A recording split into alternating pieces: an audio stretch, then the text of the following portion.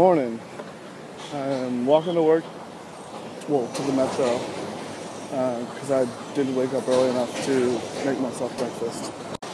Wow, that's amazing. They've gotten all this glass up on the first level in no time at all.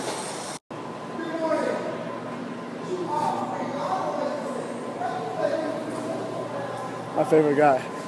So this week is a, a short week for me. Friday, real early in the morning, I gotta get up because I'm going to Vegas.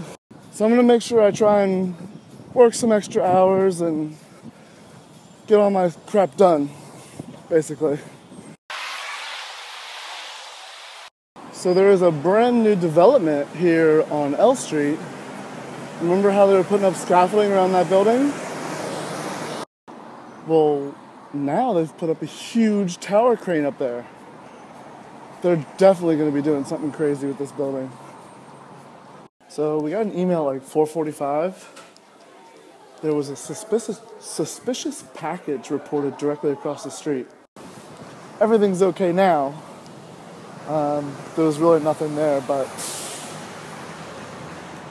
I guess they just had to be careful. I don't know if you can see, there's two red trucks right there those were the hazmat uh, patrol guys.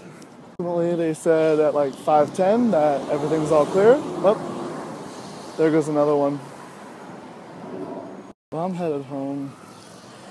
I gotta go to the grocery store a little bit. I just need to get eggs and maybe one other thing. You gotta bear with me these next, uh, well, now these next three days because then I'll be in Vegas not do very much the next three days. I think I have dinner on Wednesday with my dad. But other than that, nothing. Should have came home today and gone for a bike ride, but it's still really freaking hot. And I'm not into that.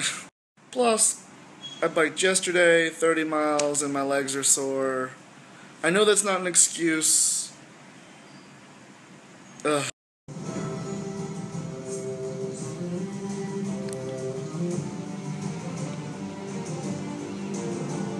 That's right, it's Game of Thrones time. I'll see you in an hour.